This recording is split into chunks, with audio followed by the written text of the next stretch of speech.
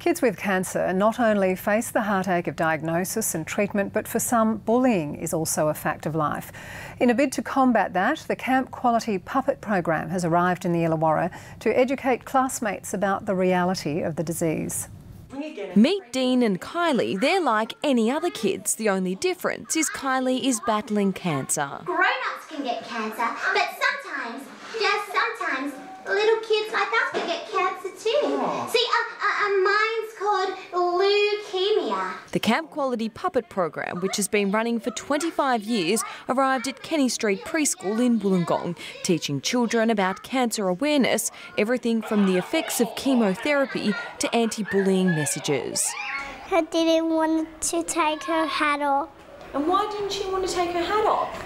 Because she's the people might laugh. If you take the medicine and then this grows back, you can't catch cancer. The kids also wearing their pyjamas to raise funds. The program is aimed at preschool and primary school kids, especially those who may have a classmate returning after being diagnosed or their parents are battling the disease. For example, there's another preschool where a little boy's father was diagnosed and um, was actually going through treatment and though you know this story is about a child living with cancer, he recognised you know the the side effects of the chemotherapy. Just because someone looks different, it doesn't mean that there's someone different on the inside. That you know we're all still the same person on the inside. For information about booking the free show, head online.